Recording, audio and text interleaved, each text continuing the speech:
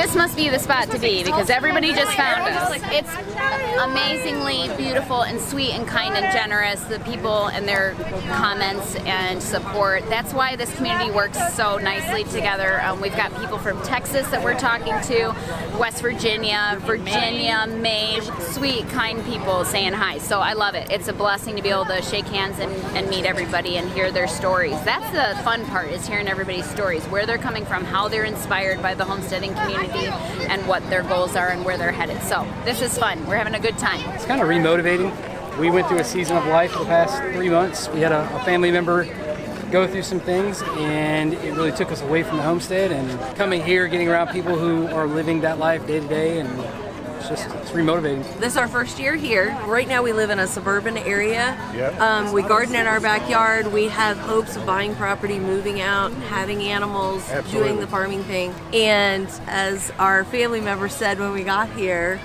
these are our people Yeah, it's fantastic. The, it's like the longer you hear, the more that you realize everything that you can do and everything that you want to do. We just had Yeah. an absolute Yeah, we had a blast. blast. here. Yeah, we will Yeah. definitely be be back next year.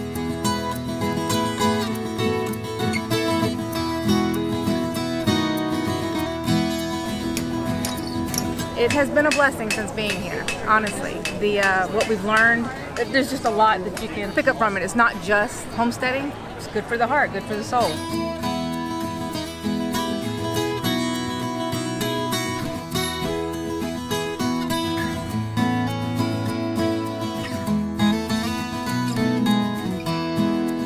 You know, you know you're coming together with like-minded people to some extent, but sometimes you don't know quite how far that goes. And hearing a few of the folks sharing and speaking and the different stories from the different families, it really brings it all home that people are really doing this for similar reasons, for good reasons, for the right reasons, Yeah. and everybody's trying to encourage each other along the way. Yeah. And that's that's great, and it's um, it's even encouraging to us. I would just say overall it's been really fun. I think it's been beneficial for us, and hopefully it's been encouraging for those we've been able to interact with as well. Thanks for joining us at Homestead of America, and we'll see you guys all later.